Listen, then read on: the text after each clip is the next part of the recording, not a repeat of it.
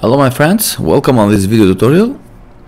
I will show you today how to fix the redirection error when you uh, enable Cloudflare on your website.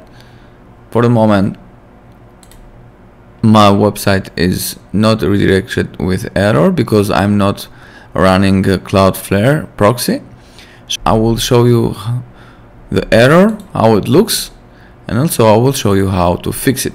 So if I go here on Cloudflare and uh, if I enable proxy and click save, you will see my website. Click refresh here. Okay, here it is. Okay, this page isn't working because of redirected too many times. So I will show you how to fix this error. First of all, what you have to do, I just go here on SSL security. You see your your SSL certificate uh, encryption mode is off, not secure.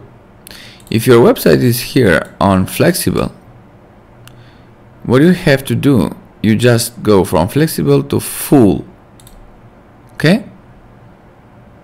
And another option you have to enable is this SSL TLS uh, recommendations. Turn it on not from not inflexible but full okay?